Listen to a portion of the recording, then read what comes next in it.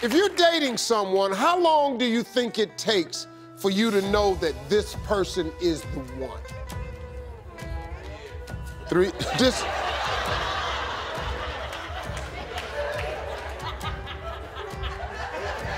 Well, most married people said, this is a study, that it takes 172 days for you to determine if you wanted to marry the person you're dating.